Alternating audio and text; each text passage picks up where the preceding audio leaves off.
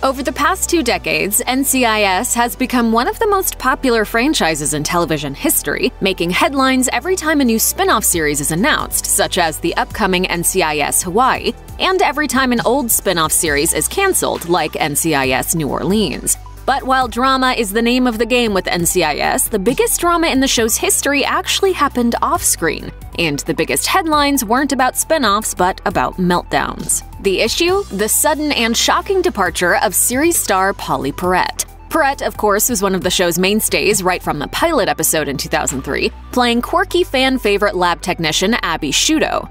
But in 2018, after 15 seasons, Perrette suddenly left the show to the surprise of fans around the world, making her final appearance in the season 15 finale episode Two Steps Back. Her departure was made even more shocking when, just after the episode aired, Perrette posted several tweets alleging a toxic workplace environment, saying in part, I've been supporting anti bullying programs forever, but now I know because it was me. If it's school or work that you're required to go to, it's horrifying. I left, multiple physical assaults. I really get it now. Stay safe. Nothing is worth your safety. Tell someone. So, what happened? According to The Wrap, the behind the scenes drama stemmed from an incident in 2016 where series star Mark Harmon reportedly brought his dog to the NCIS set. The dog then attacked a crew member, biting them in the face. Luckily, though the bite was near the eye and there was no loss of vision, the crew member had to receive 15 stitches.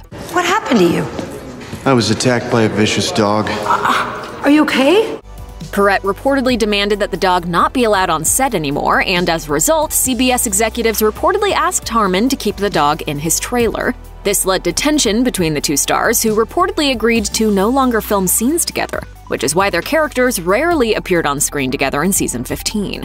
But that apparently didn't solve things. In 2019, after fans implored her to return to the series, she tweeted, No, I am not coming back, ever. Please stop asking. I am terrified of Harmon and him attacking me. I have nightmares about it. In a since deleted tweet, Perrette posted a photo of the injuries suffered by the crew member from the dog bite and said, This happened to my crew member, and I fought like hell to keep it from happening again, to protect my crew, and then I was physically assaulted for saying no, and I lost my job. According to TMZ, the physical assault occurred when Harmon allegedly body checked Perrette, which she believed to be an intentional act of intimidation and retaliation for the dog bite incident. But her beef apparently wasn't just about the dog, it was a culmination of events. And it wasn't just with Harmon, but with the producers who she felt empowered him. In 2020, she tweeted, There are things so racist and so misogynistic and so homophobic and cruel that were said on set at that show that I have never spoken of because the language is so hurtful. And y'all wondered why I quit? Those producers are still there, all of them, including him. Whatever the specifics, though, Perrette has seemingly moved on. Though she has shut the door on an NCIS reunion, she has mended fences with CBS after they praised her for working to ensure a safe workplace environment. She has also since declined to discuss Mark Harmon and her departure from the show, instead focusing on new endeavors. And in 2020, she returned to CBS to star in the comedy series Broke. Though it was canceled, Perrette praised the experience, saying that the show, quote, healed her. Oh my god! Oh my Gucci!